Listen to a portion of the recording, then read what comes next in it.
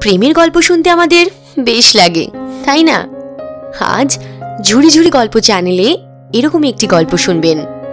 অসামান্যা লেখিকা আশা পূর্ণা দেবী লেখা একটি অসাধারণ প্রেমের ছোট গল্প মায়াজাল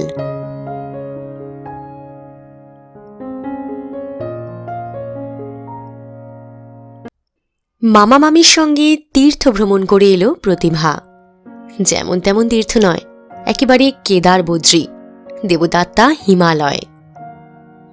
প্রতিভা যে তার মামা মামির ওই একটিমাত্র ভাগ্নি, আর সেই কারণেই তার এহেন মামার বাড়ির আবদার, সেটা ভাবলে ভুল হবে। প্রতিভার মায়েরা চার বোন, আর চার বোনের ঘাটতি বাড়তি মিলিয়ে সর্বসাকুল্যে চার আষ্টে বত্রিশটি। এতগুলি ভাগ্নে ভাগ্নির মাঝখান থেকে শুধু প্রতিভাকে আদর করে নিয়ে যাওয়ার কারণ হচ্ছে প্রতিভা অল্প বয়সের বিধবা ভাগ্নে। অল্প বয়স বলি অল্প বয়স? এ যুগে অত কম বয়সে বিয়েই তো বড় একটা হয় না। নেহাত নাকি প্রতিভা বড্ড টুকটুকি সুন্দরী মেয়েটি ছিল। তাই পনেরো বছর বয়সেই একটি বিয়ে বাড়ির নেমন্তন্নে গিয়ে ভাবি শাশুড়ির এমন নজরে ধরে গেল যে তিনি পনেরো ছেড়ে ষোলো পর্যন্ত অপেক্ষা করতে রাজি হলেন না। আবার চিত্রগুপ্তের এমন টনক নড়ল যে তারও হিসেব মিলাবার দেরি সইল না। বোধ করি খাতার পাতায় নাম দেখেই সেই বেচারা বাইশ বছরের বরটিকে তলব করে বসলেন বছর খানিকের মধ্যেই। তদবধি প্রতিভা, আহা, বেচারা হতবাকি ছুরি, ইত্যাদি। প্রথম প্রথম আরেকবার বিয়ের কথা উঠেছিল, কিন্তু কথাটা তেমন দানা বাঁধেনি, বরং একটু দানা বেঁধেছিল আবার পড়ানোর প্রস্তাবটা। ক্লাস টেনে উঠেই তো বিয়ে হয়ে গিয়েছিল, আর বিয়ের পরেই শ্বশুরদের সঙ্গে চলে যেতে হয়েছিল মোগল সরাই দুমাস সেখানে, দুমাস এখানে, করেই তো বছরটা কোন ফাঁকে কেটে গেল। তারপর কলেজ হোস্টেলে দিন দিনেকে জ্বরে জামাই গেল মারা।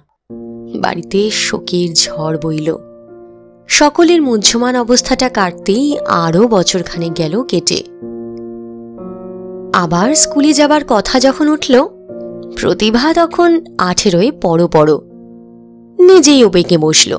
বলল, তিন বছরের ছোটদের সঙ্গে পড়তে পারব না। অতএব প্রাইভেটে ম্যাট্রিক। পড়াতে লাগলেন একজন দিদিমণি। কিন্তু ঠিক সেই বছরই প্রতিভার মা আর খুড়ি দুজনে পর পর শিশু মঙ্গলের সদস্যা হলেন। অতঃপর কেমন করে কে জানে সেই শিশু দুটির মঙ্গলের ভার পড়ে গেল প্রতিভারই ওপর। সে বছর ম্যাট্রিক দেওয়া হলো না, তার পরের বছরেও না, কারণ নেহাতি বৈষয়িক কারণে সেই দিদিমণিটাকেও বরখাস্ত করা হয়েছিল। আর প্রতিভাকে দেওয়া হয়েছিল স্বাবলম্বনের শিক্ষা ও দৃষ্টান্ত। প্রতিভা তার মান রাখতে পারল না। বলল, পড়া তৈরি হয়নি, পরীক্ষা দিতে গিয়ে শেষে কি লোক হাসাবো? তার পরের বছর বাড়ির লোক ভুলেই গেল প্রতিভার পরীক্ষার কথা। ততদিনে সংসার চক্রে যতগুলি দাঁত আছে, তার খাঁজে খাঁজে নিজেকে দিব্যি খাপ খাইয়ে বসিয়ে নিয়েছে প্রতিভা। প্রতিভা নড়লে চাকা অচল। একটা না এক ক্লান্ত করুণ সুরে কাজের চাকা চলল ঘুরে ঘুরে। তবু মামা মামির সঙ্গে যে কেদারবদ্রি যাওয়া হলো, সে একরকম ওর ছোট বোন অনুভার দাক্ষিণ্যে। অনুভাই ওকে একরকম ঠেলে পাঠিয়ে দিয়েছিল। মা বাপ বলেছিলেন, ওরা আগ্রহ করে বলেছেন, যাওয়াই তো উচিত, কিন্তু নিজের যে কখনো কোনো তীর্থ হলো না, এই কথা উল্লেখ করে মা নিঃশ্বাস ফেলেছিলেন। প্রতিভা বলেছিল, মামাবাবু বলেছেন বটে, কিন্তু মায়ের শরীর ভালো নয়, গেলে কি করে চলবে? এই বলে নিঃশ্বাস ফেলেছিল প্রতিভা। অনুভা নিজের জোরে কিন্তুগুলোও দিল উড়িয়ে। বলল, এমন সুযোগ আর জন্মে পাবি না, দিদি। সংসার সংসার করে মরে কেন নিজের আখের ঘোচাবি? তীর্থে গিয়েই বা আমার কি হবে? প্রতিভা বলেছিল ম্লান হেসে। অনুভা বলেছিল, কিছু না হোক, ওই লঙ্কা পাছরণের কবল থেকে ছুটি পাবি দুদিন। তোর ওই চাঁপার কলি আঙুল দিয়ে যখন রাত দিন বড়ি দিস, মোচা কুটিস, লঙ্কা হলুদ নারিস দেখে আমার গা জ্বলে যায়। জুতো, জামা পরে বেরিয়ে নিগে না দুদিন। যেমন করে হোক চলেই যাবে। ভয় নেই, তোর ভাড়ার ঘর অক্ষত অনাহত থাকবে। অতএব জুতো, জামা কেনা শুরু হয়েছিল প্রতিভার জন্যে। ভালো ব্যবস্থাই করতে হলো। বড়লোক মামির সঙ্গে যাবে প্রতিভার বাবা মার একটা প্রেস্টিজ আছে তো? যাক, সেসব তো গত কথা। এখন তো আবার বাড়ি ফিরে এসেছে প্রতিভা। কিন্তু যে প্রতিভা গিয়েছিল, সেই কি ঘুরে এলো? সংসারের সেই খাঁজে খাঁজে নিজেকে ঠিক মতো করে আর বসাতে পারছে না কেন তাহলে? পথক্লেশের ক্লান্তি অবশ্য ছিল। চেহারাটাও কিছু মলিন হয়েছিল। কিন্তু শুধু তাই নয়, তাছাড়াও কিছু ছিল। মনে হচ্ছে ও যেন সংসার থেকে আলগা হয়ে গেছে। কে জানে এটা প্রতিভার দোষে না অনুভার গুণে? প্রতিভা দেখল তার অনুপস্থিতিতেই সংসার চক্রটা অচল তো হয়ইনি, বরং যেন নতুন অয়েল করা মেশিনের মতো আরও স্বচ্ছন্দ গতিতে চলছে। প্রতিভার চাইতে অনুভার বুদ্ধি তীক্ষ্ণ, ক্ষিপ্রকারিতা বেশি, সংসার সদস্যদের ওপর শাসন প্রবল। প্রতিভা যেখানে অনুনয় করত, অনুভা সেখানে হুকুম চালায়। প্রতিভা অবাক হয়।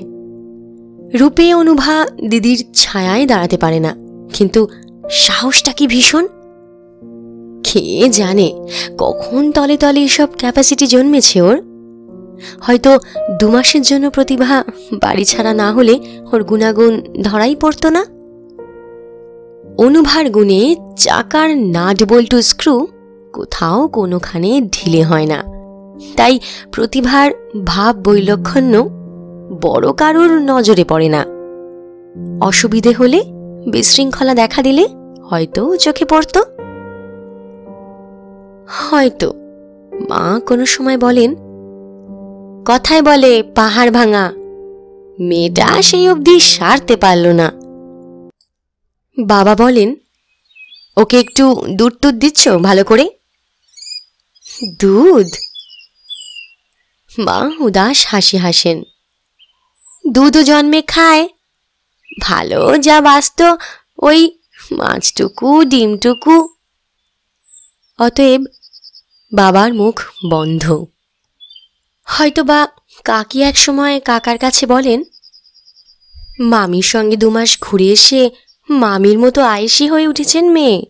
বললে বিশ্বাস করবে না। বৃষ্টি এসে এক ছাদ কাপড় ভিজে গেল সেদিন। গ্রাহ্য করে তুলল না। এই জন্যই বলে বড় লোকের সঙ্গে বেশি মেশামেশি ভালো নয়। কাকা বলেন প্রত্যেক বিষয়েও হুঁশিয়ার হবেই এমন আশা করো কেন? কি আছে ওর জীবনে? নিজের ভবিষ্যৎ ভাবতে ভাবতে কোনো সময় যদি একটু খেয়াল কমই হয়, রাগ করা মনুষ্যত্ব নয়। অতএব তখনকার মতো কাকির মুখ বন্ধ হয়। তবে কেউ সন্দেহ করে না। প্রতিভা এই দুই মাসের মধ্যে হৃদয় রাজ্যে একটা বিপ্লব বাঁধিয়ে এসেছে। কাজেই তীর্থ ঘুরে আসার পর থেকে অনেকটা তোলা মাটিতে লাগানো চারার মতো খানিকটা আলগা হয়েই রয়ে গেল প্রতিভা। অবশ্যই সংসারের কাজ কি করছে না? তা করছে বই কি? কিন্তু সেটা এইভাবে। অনুভা রান্নার ফিরিস্তিটা বুঝিয়ে দিয়ে যাচ্ছে। প্রতিভা বসে বসে কুটনোগুলো কুটছে। অনুভা মাঝখানে একবার শাসিয়ে যাচ্ছে। সব আলুগুলো কুটে ফেলিস নে, দিদি। গোটা কতক ফেলে রাখ, নইলে সকালে বাজার আসতে দেরি হলে মুশকিল। প্রতিভা যদি বলে, ও মা, এ থেকে আবার রাখব কি? কুলবে কেন? ও বলে, না, কুলবে না না কুলিয়ে ছাড়বো। সকালে অফিসের বেলায় মরবো নাকি? মা খুড়ি তো এখনও কচি ছিলেন মা। ওদের সব ঝাড়িয়ে কাটিয়ে, স্নান সেরে আস্তে আস্তে অফিস স্কুলের লোকেরা খেয়ে ওঠে। ওরা কখন কি দেখবেন? বরং, মা কি খুঁড়ির চান হলো কিনা সাতবার খোঁজ করতে হয়। ঠিকমতো চা তৈরি রাখতে হয়। অনেক জল ঘেঁটে আর অনেক খাটুনি খেটে কাহিল হয়ে এসে পড়েন বেচারারা। আগে আগে মাছের সংখ্যা নির্ণয়ে ভুল হয়ে যায় বলে প্রতিভা নিজে দিত মাছ কুটে এখন অনুভা হয়তো জামার লেজ বুনতে বুনতে, নয়তো চুলে চিরুনি চালাতে চালাতে মাছ কোটার কাছে এসে দাঁড়ায়, চাকরকে নির্ভুল নির্দেশ দিয়ে দিতে। বামুনকে যা বোঝায়, তার এতটুকু এদিক ওদিক হলে বকে শেষ করে দেয় তাকে। আশ্চর্য, এসব দিকে তো কখনো তাকিয়ে দেখতো না অনুভা। জানলো কি করে এত? প্রতিভা এর মাঝখান থেকে নিজের সেই পুরনো খাঁজগুলো খুঁজে পায় না। অথচ দেখো, অনুভা এতর মধ্যেই যেন হাওয়ায় ভাসছে। ওর কোনোখানি চাকার দাঁতের দাগ পড়েনি। অবসর সময় একরকম লুকিয়েই আবার পড়ার বইপত্তরগুলো খুলে বসে প্রতিভা। কিন্তু ঠিক যেন অর্থবোধ হয় না। দেখল, যা যা শেখা ছিল প্রায় ভুলেই গেছে। ওগুলো ফেলে রেখে খুঁজে খুঁজে ধর্মগ্রন্থ পড়তে চেষ্টা করল। সেটা আরও ভারী ঠেকল। শেষ পর্যন্ত ধরল খবরের কাগজ। তবু বেশ কিছুটা সময় কাটে। আগে চোখ বুলোবারও সময় হতো না। এখন খুঁটিয়ে খুঁটিয়ে আদ্য পান্ত পড়ে। কিন্তু সে আর কতক্ষণ? সব সময় কি যেন এক শূন্যতা। হে কি শুধুই কাজের অভাব? একদিন বর্ষার এক বিকেলে মেঘাচ্ছন্ন আকাশের দিকে চেয়ে বসেছিল প্রতিভা। কোলে একখানা মাসিক পত্রিকা খুলে ধরে। ও ঘর থেকে চোখে পড়ল অনুভার।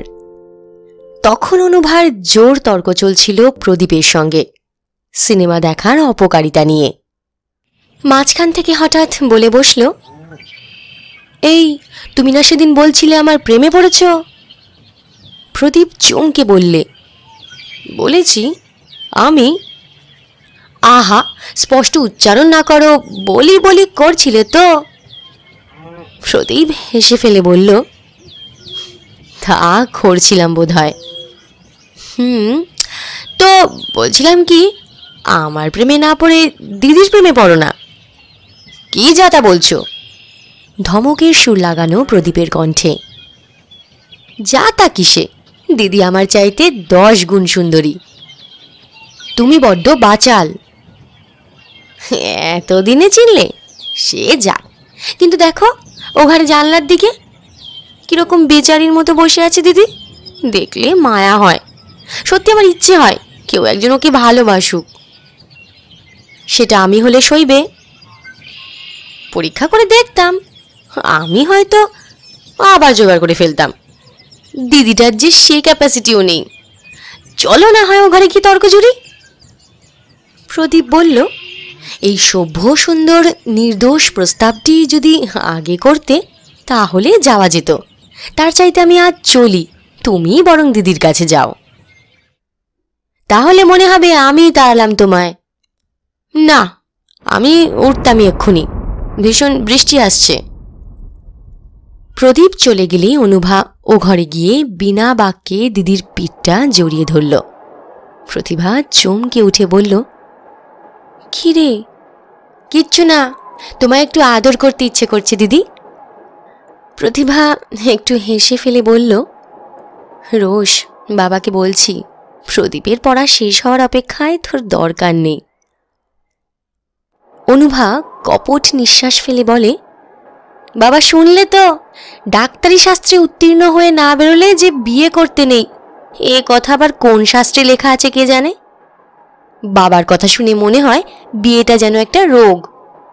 ঠিক এই সময় ঠাকুর এসে বলল, চোর দিমুনি, লুচির ঘি বার করে দিয়ে আসেননি।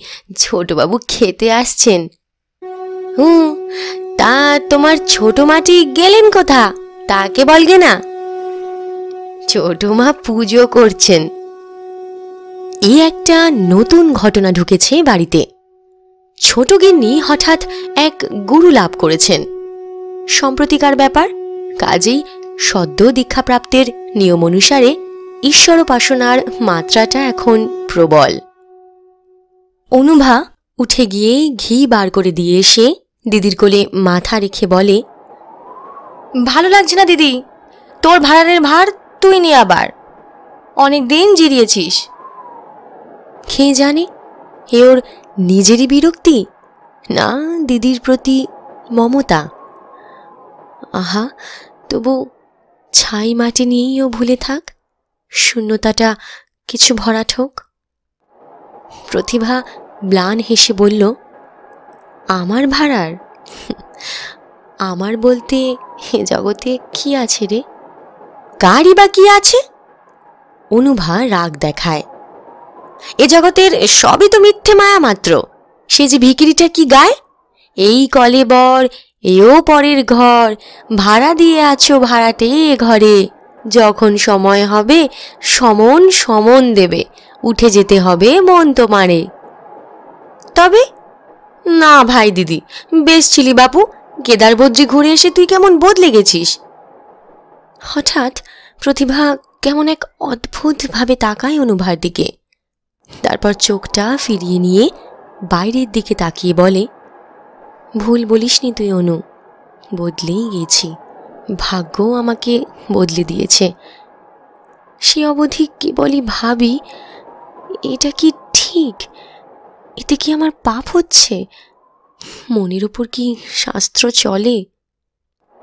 অনুভা চোখ ঠিকরে বলে বলিস কি দিদি?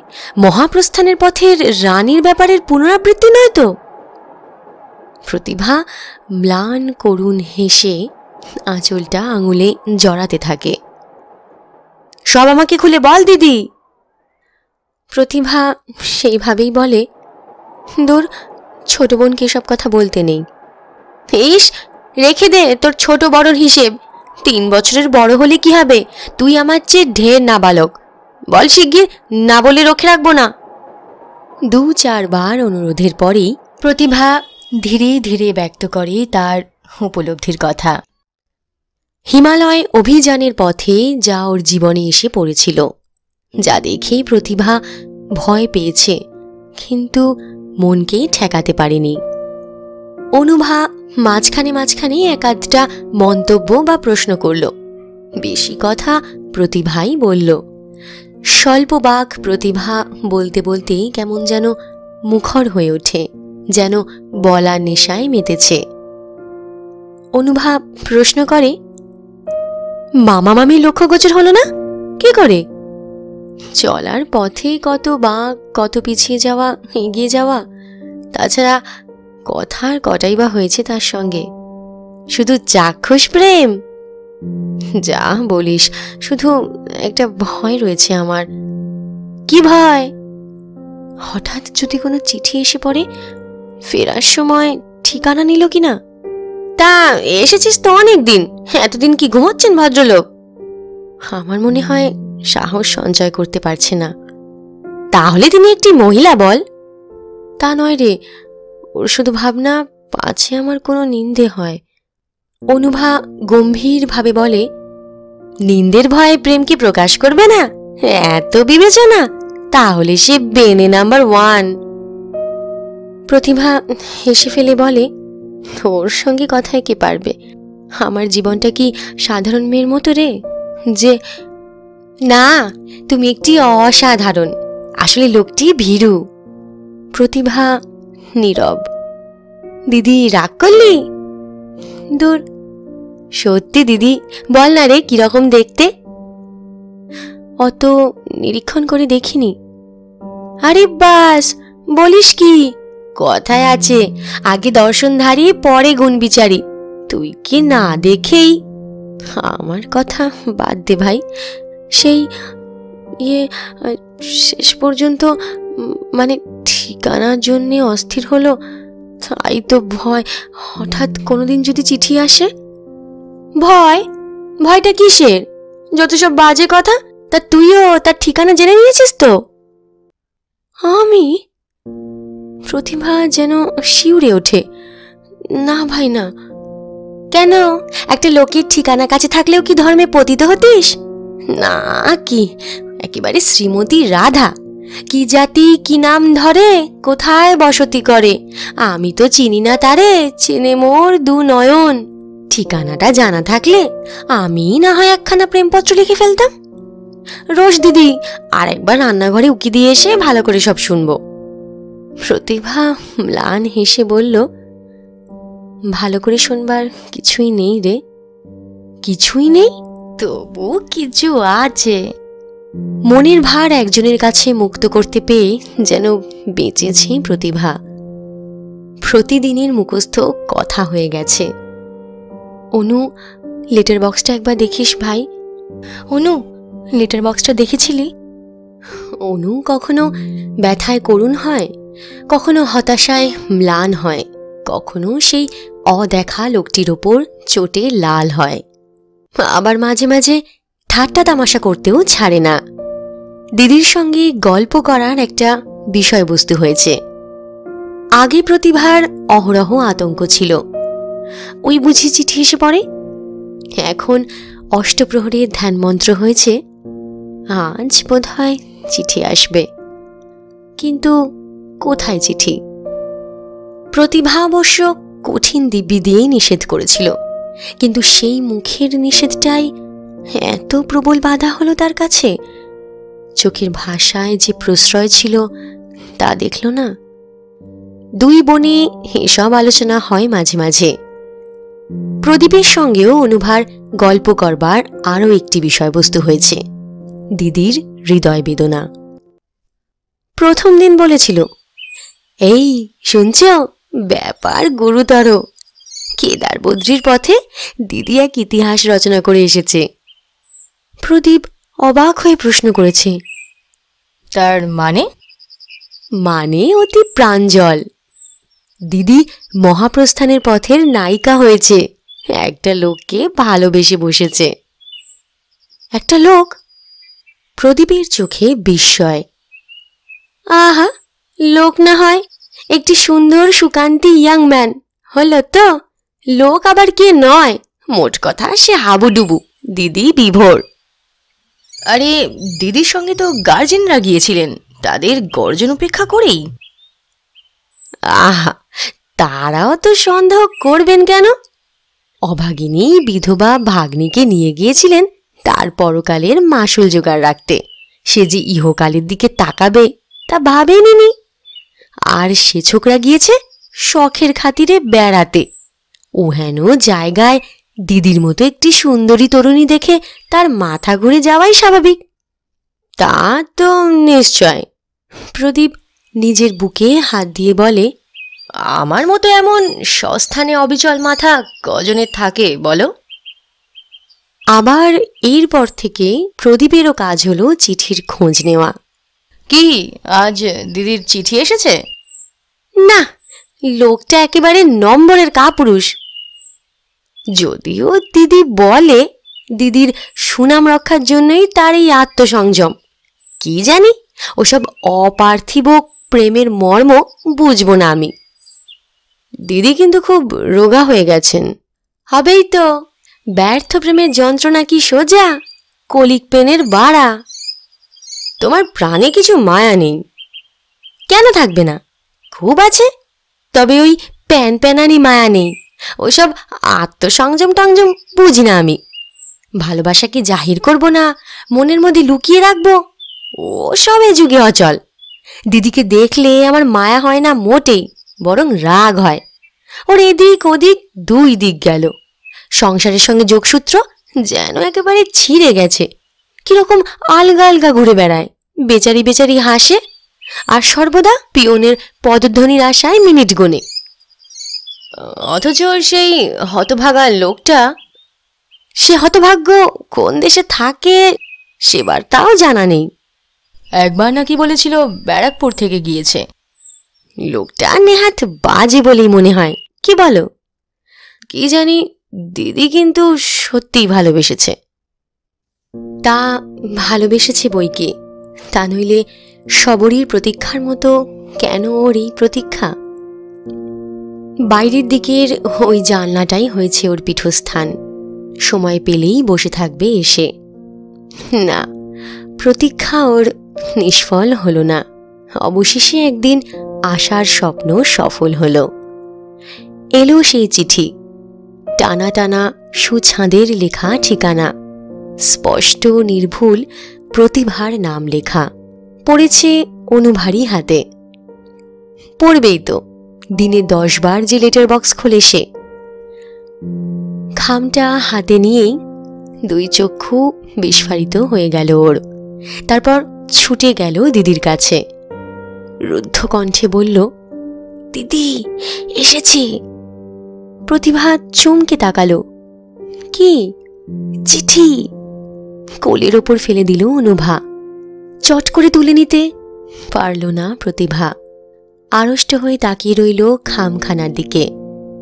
কালো কালো অক্ষরগুলো যেন এক একটা জীবন্ত সরীসৃপ হয়ে ওর মাথার মধ্যে চলাফেরা করতে শুরু করেছে। ও মা, অমন হাঁ করে তাকিয়ে রইলি কেন? খোল পর এই দেখ, বোকার মতো ফ্যাল ফ্যাল করে চেয়েই রইল। আচ্ছা বাপু, নির্জনেই পর আমি চলে যাচ্ছি। ও চলে যাচ্ছিল।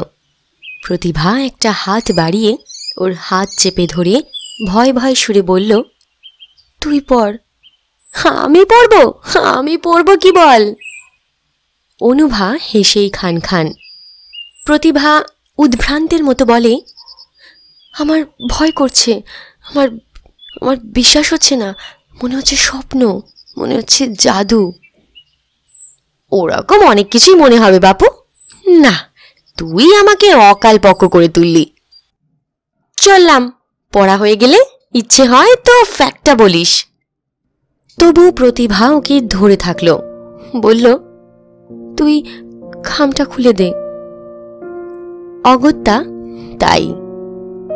কিন্তু খাম খোলার সঙ্গেই পড়াও হয়ে যায়। কতটুকুই বা চিঠি? সম্বোধনহীন, স্বাক্ষরবিহীন কয়েকটি মাত্র লাইন। বহুবার লিখেছি, বহুবার ছেড়েছি। সাহস সঞ্চয় করে পাঠাতে পারিনি। আজ প্রতিজ্ঞা করে বসেছি। জানি না তোমার আজও আমাকে মনে আছে কিনা। যদি মনে থাকে তো শুধু একটুখানি উত্তর দিও। উত্তর নয়, অনুমতিপত্র। মাঝে মাঝে যেন এরকম একাধটা চিঠি লিখতে পাই। এই অনুমতি চাইছি। এই প্রার্থনা কি অসঙ্গত? ইতি তাহলে শেষ পর্যন্ত দিল। স্বস্তির নিঃশ্বাস ফেলল অনুভা। প্রতিভা কোনো উত্তর দিল না। শুধু নিনির্মেষ দৃষ্টিতে তাকিয়ে থাকল চিঠিখানার দিকে। মাথার ওপর ঠিকানা রয়েছে একটি, বিটি রোডের কোনো একটি নম্বর। প্লট নম্বর আর বাড়ির নম্বর মিলিয়ে দুর্বোধ্য গোছের। প্রদীপ এলো পরদিন। অনুভা আরক্ত মুখে খবর দিল। কাল এলে না উচ্ছ্বাসটা জুড়িয়ে গেল। দিদির চিঠি এসেছে। বলো কি? আর বলি কি? দস্তুর মতো চৌকো, নীল, খাম, প্রেমিকা সুলভ ভাষা। প্রদীপ বলে, তাহলে তো আমারই একটা অন্যায় ধারণা ছিল। আমি ভাবতাম লোকটা একটা ধাপাবাজ। দিদি ভালো মানুষ, বুঝতে পারেননি? শেষ পর্যন্ত চিঠি দিল তাহলে। তাই তো দেখছি। সত্যি বলতে কি, আমার ধারণা আরও উচ্চাঙ্গের ছিল। এতদিন বলিনি, আজ ভুল ভাঙলো তাই বলছি। আমার সন্দেহ ছিল, লোকটা বোধহয় কাল্পনিক। দিদির দুরন্ত ইচ্ছার বা বাসনার একটা মন গড়া মূর্তি। ছি ছি দিদিকে এরকম প্রতারক ভাবা? না, দিদিকে মোটেই প্রতারক ভাবিনি। কোনো দিন ভাবতাম দিদির মনই দিদিকে প্রতারণা করেছে। এই রকমটি যদি হতো, এই ভাবতে ভাবতে হঠাৎ এক সময় ধারণা জন্মে যায়, এই রকমটি হয়েছিল। এই এক ধরনের চিত্তবিলাস। অবশ্যই সাহস করে বলিনি তোমায়। যাক, তোমার ধারণা তাহলে বদলেছে। অবশ্যই, যখন জলজান্ত প্রমাণ পেলাম। এখন দেখো গার্জেনরা টের পেলে কি বলেন? তোমার দুঃসাহসটা তবু সইছেন, এটা সইবেন কিনা সন্দেহ। খুব বেশি উচিত ব্যাপার তো হলো না এটা। কেন? অনুচিত কিসে? মাত্র বাইশ বছর বয়স দিদির, তা জানো? তা জানি, আবার গোঁড়া হিন্দু ঘরের বিধবা তাও জানি। আমি অত উচিত অনুচিত বুঝি না। সত্যি বলতে কি, খুব মজা লাগছে আমার। তা লাগবে বই কি? নিজে হাওয়ায় উঠছ কি না হয়তো সত্যিই তাই? কেউ বঞ্চিত থাকবে, কেউ দুঃখী থাকবে। এ যেন এখন আর ভাবতে ইচ্ছে করে না। আগে ঠিক বুঝতাম না, এখন বুঝতে পারি। কি বিরাট শূন্যতা দিদির জীবনে। বুদ্ধি করে ঠিকানা দিয়েছে ভদ্রলোক। আমি তো কালই দিদিকে চিঠি লিখিয়ে ছাড়ব। এই অনু খবরদার। প্রায় বকে ওঠে প্রদীপ। অত দুঃসাহস করতে যেও না। জিনিসটাকে ইন্ধন দিয়ে লাভ কি? হনুমানের ল্যাজের আগুনে লঙ্কা কাণ্ড হয়েছিল জানো তো? জানি সব। কিন্তু মানি না সব। মানুষটা দৈবক্রমে বিধবা হয়ে পড়েছে বলে ওর জীবন থেকে একেবারে জীবনে নির্বাসন দণ্ড? এ কি অবিচার? কেন? ও বাতিল হয়ে পড়ে থাকবে? কেউ একজন ওকে ভালোবাসুক না। আমি তাহলে বাঁচি। আমার মনে হচ্ছে এইবার হয়তো একটু স্বস্তি পেয়ে তোমার সঙ্গে প্রেম করতে পারব। দিদির ওই রকম দুর্ভাগ্য সামনে রেখে সত্যি ভারী বিবেক দংশন অনুভব করতাম। আমি শুধু ভাবছি, এটা কি ঠিক? এটা কি ভালো? তুমি এখনও ঊনবিংশ শতাব্দীতে আছো। চলো, দিদিকে অভিনন্দন জানিয়ে আসবে। প্রদীপ দুহাত জোর করে বলে মাপ করো, ওই অনুরোধটি করো না। নেহাত তোমার দিদির ওপর মমতার বশেই এটা সমর্থন করছি। নইলে সে হিসেবে আমি সত্যিই ঊনবিংশ শতকের। আমারও ওই মায়া ছাড়া কিছু নয়। বলল অনুভা। অনেক রাত্রে প্রতিভা খাতা কলম নিয়ে বসল। বসল না উপুর হয়ে শুয়ে শুয়ে লিখতে লাগল। চিঠির উত্তর নয় ডায়েরি। লিখল হে কি? একে কি নাম দেব? এ কি আমার ইচ্ছা শক্তি এ কি স্বপ্ন? এ কি মায়া? আমি তো বুঝতে পারছি না এ কি। পরদিন অনুভা তোর জোর করে এসে বলল, চিঠি লেখ দিদি। চিঠি? প্রতিভার সমস্ত মুখটা আকস্মিক রক্তচ্ছ্বাসে লাল হয়ে উঠল। চিঠি লিখব কি বল? পাগল হলি তুই? তা হয়তো হয়েছি। কিন্তু করেছিস তুই। নে নে চটপট লিখে ফেল বলছি। আমি পারব না। কি মুশকিল তবে কি আমাকে পারতে হবে? সেকালের নিরক্ষরা মহিলাদের প্রেমপত্র লিখে দেওয়ার মতো? হেসে গড়িয়ে পড়ল অনুভা। একটু যেন বেশি বেশি হাসল। আচ্ছা অনু কি গো? এই ঠিকানায় সত্যি কোনো বাড়ি আছে? না পাগলটা তুমিই হয়েছ। আছে না তো চিঠিটা এলো কোথা থেকে? তাই তো ভাবছি। ভাবনা চিন্তা ছেড়ে উত্তরটাই লিখে ফেল। লেখ, বহুদিন প্রতীক্ষার শেষে তোমার চিঠি পেলাম। পেয়ে যা, আমি পারব না সব লিখতে। না পারবি তো, যা প্রাণ চায় লেখ। এই কাগজপত্র রইল রইল ঠিকানা লেখা খাম। এক ঘণ্টা পরে আসছি। অনুভার জবরদস্তিতে চিঠি লেখা হলো। সংক্ষিপ্ত। আবার এলো সেই চিঠির উত্তর। তেমনি নাম সম্বোধনবিহীন, সংক্ষিপ্ত। তবে একটু যেন বেশি ভাবগম্ভীর। আবার উত্তর গেল, বিটি রোডের সেই দুর্বোধ্য গোছের নম্বরওয়ালা বাড়িটার ঠিকানায়। আবার এলো উত্তর, লেটার বক্সের চাবি অনুভার কাছে। কাজেই ফাঁস হয়ে পড়বার ভয় নেই। প্রদীপ এলেই অনুভা বলে দিদির মুখের চেহারাটা কীরকম পাল্টেছে দেখেছ? ঠিক যেন নব অনুরাগিনী রাধার ভাব। সত্যি, তুমি একদিন অভিনন্দন জানালে না। খ্যাপামি করো না। তোমার উচিত এসব বন্ধ করে দেওয়া। বড়রা জানতে পারলে দিদির অবস্থা কি হবে জানো তো? রাধার যা হয়েছিল?